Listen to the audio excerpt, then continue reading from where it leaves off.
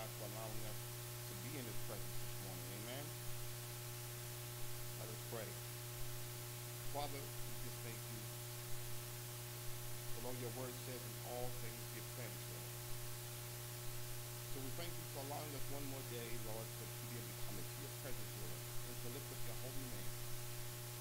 So Father, truly, you are worthy to be praised. So we just want to say thank you. We glorifying and knowing that you are God, and beside you there is no other God. So we just thank you. We honor you, we glory you. Your holy name. We thank you for Jesus. We thank you for the cross. We thank you for allowing us, Lord, to be in your presence, to give you honor and glory. In Jesus' name, amen. Amen. Uh, I want to talk a little bit about, um, you know, when my brother called me, I was thinking, okay, so, you know, you know, the Bible teaches us to be ready at all times. Amen. And to be able to give account. Amen. So I, I thought about what, what the, um, Pastor Whitman talked about um, when he um, read from the 23rd Psalm. And he begins to talk about the Lord being our shepherd. And, you know, I, I thought about that. And, you know, what is a shepherd? What is the job of a shepherd? But to not only lead, but to protect their flock. Amen? Not only just to lead, but to protect also. What does the shepherd protect the flock from? It is imperative that the shepherd make sure that what is being taught to the flock is the true and pure, unadulterated word of God. That is his responsibility to make sure that no one comes up here and teaches something that is contrary to the word of God. That is the shepherd's job. To make sure that what is going forth is the true word of God. I thank God for Pastor Wickham because before I was able to minister to the congregation, we had extensive talks about what my beliefs were. And that is the job of the shepherd, to make sure that that word that is being ministered comes from the gospel. Because a lot of times you get people who come up and they'll say things that is contrary to the word of God. Or is what they think rather than what they've read. So that's part of the shepherd's job. When he's protecting the flock, to protect their ears, protect their soul. That is job.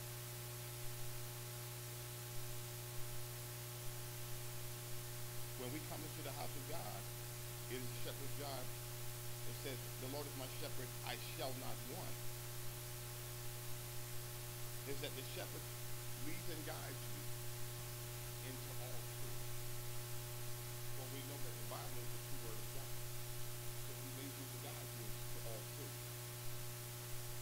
When he says, I shall not want, the Lord is my shepherd, I shall not want, you shouldn't want to be able to go out and, and somewhere else or not have any food fed while you're spiritually fully fed. If there is something that you need to know concerning the scripture, it is the shepherd's job make sure that you know it.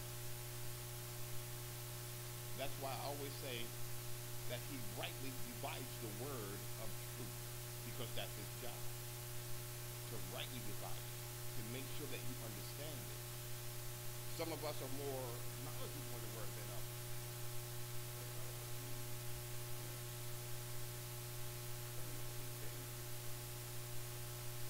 So it's the, the pastor's job to be able to decipher who needs what. It's not an easy job. it's really not an easy job to be a pastor.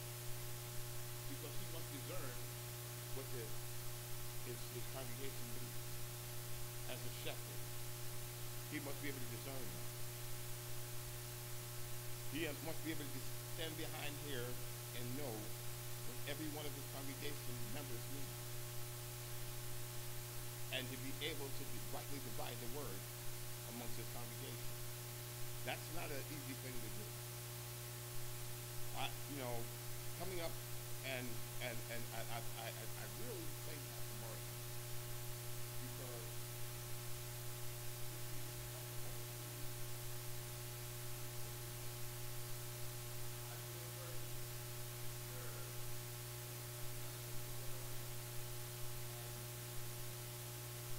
it's so hard to, to, to govern or, or, or, or even minister because people so unruly. And, and you, you know what I mean? They're just so unruly and just so so so rude. A lot of times people would, would you know, um, Renee shared a, a couple of things with me about, you know, former, you know, members and everything else. And and I, I understood her pain because, you know, I think you know, church where, you know, there's this certain and, you know, it's, it's the pastor's job to try to follow that division, you know, and, and, and to get the members on one accord. Because the Bible says the house divided against itself will not stand. Will not stand. It will not stand. So it's the pastor's job to get the, the, the church to come together on one accord. That is imperative for the church to be on one accord. And and and and and, and, and to, to, to be in harmony. It's so hard for a pastor to pastor people who are kicking against the bricks, so to speak, or doing things contrary to what he's trying to do. That's so difficult. It, it, it, it's it, it, it's a hard job. You know, it, it you know, but it it's a calling, and, and God has placed that calling in in, in, in our pastor, Pastor Nicholas Johnson, and he's been doing it wonderfully for many years. Lord is my shepherd; I shall not want. He maketh me to lie down in green pastures. And see, that, that's part of the scripture. He maketh me to lie down in green pastures. That's God's plan for us. The Bible says that God wants us to prosper. and to do good.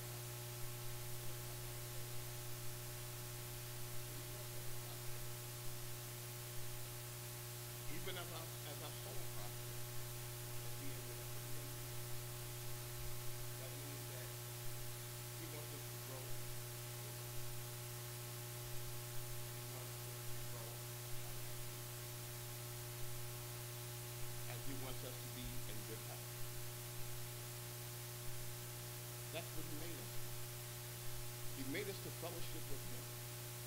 The Lord is my shepherd, I shall not want. He maketh me to lie down in green pastures. What is green pastures?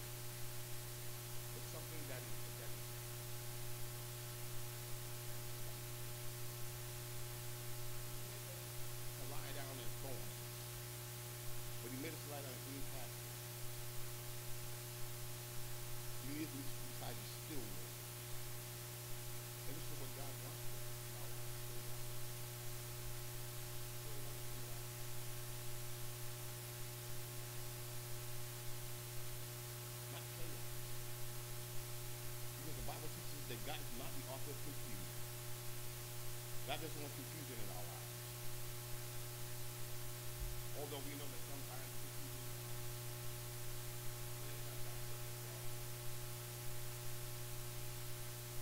God is perfect. The Bible says, he lives beside the still waters and he restores our souls."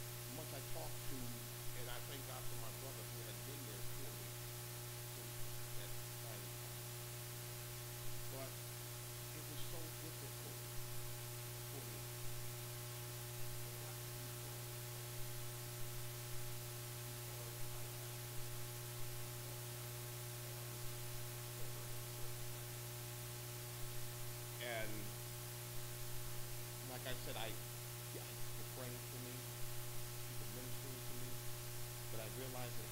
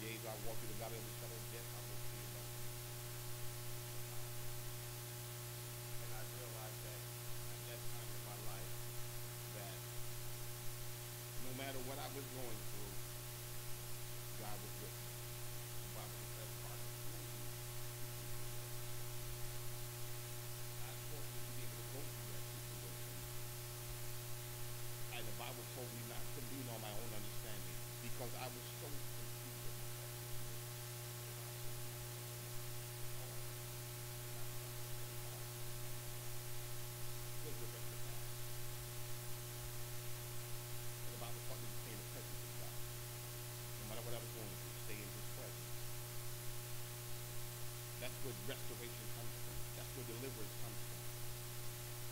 Staying in the presence of God. No matter what you're going through, stay in the presence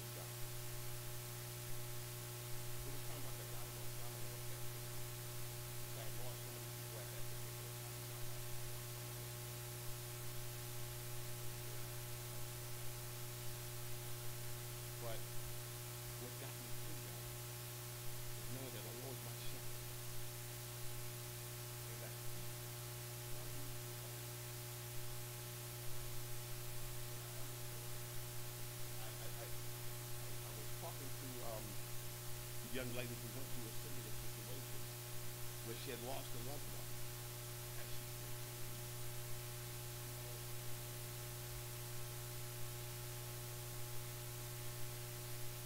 and I had to explain to her that, well, your loved one died tragically, and, and that, that was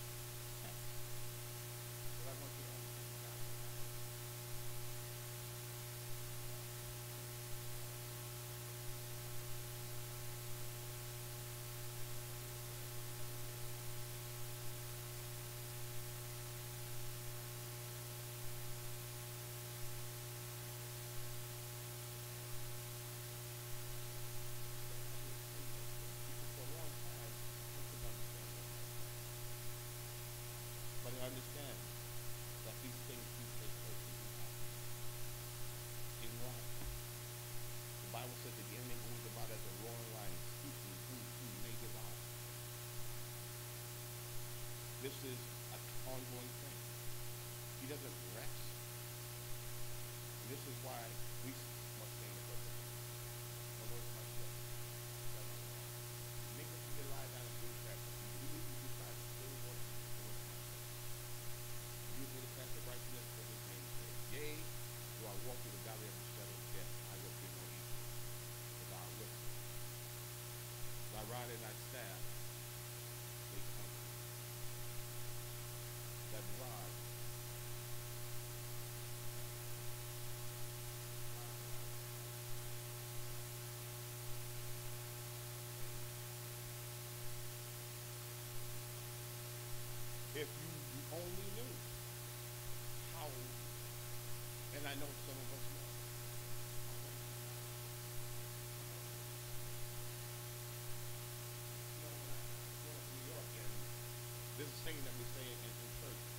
favor isn't fair.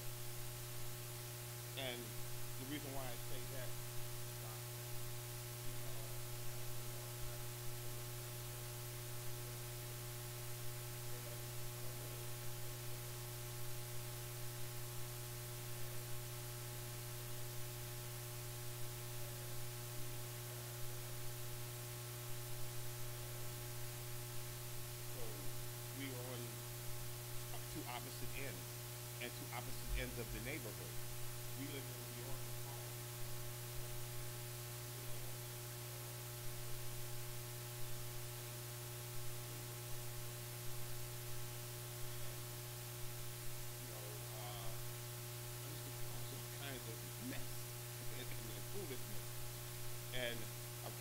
Abraham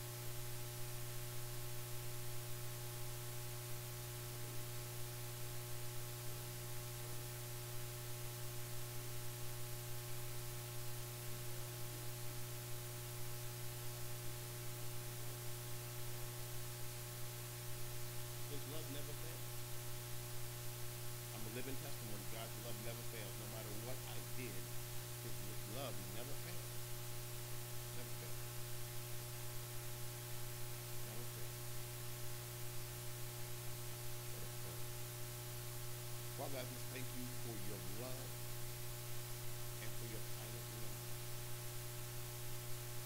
Lord, your love never fails. I thank you, Lord, for you lead us beside the still waters and you restore our soul, Lord.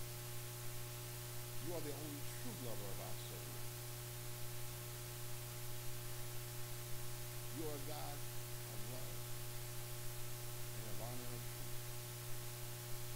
Father, today we just thank you for allowing us to come in your presence, Lord, and to break the bread of life. Your word is faithful in this. Through your, your word, Lord, you have formed the world. So we just thank you for allowing us to be a part of your glorious